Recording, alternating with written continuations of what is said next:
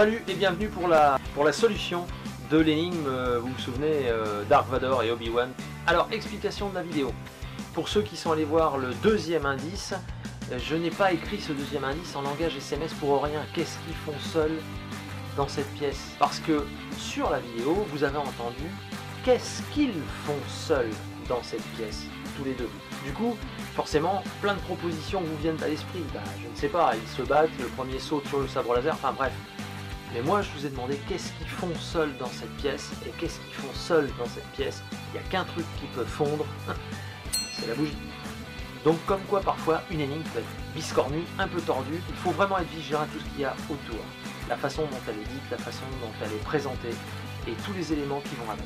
Eh bien écoutez, euh, j'espère que cette explication vous a plu, que cette vidéo vous a plu. Si c'est le cas, c'est le pouce en l'air bien sûr comme d'habitude. À commenter la vidéo, à me donner vos idées aussi, parce que comme je vous l'ai dit, c'est notre chaîne. Et, euh, eh bien surtout, je vous donne rendez-vous bien sûr vendredi à 17h pour euh, le prochain Parier c'est gagné. Et je vous souhaite à toutes et à tous une très bonne soirée.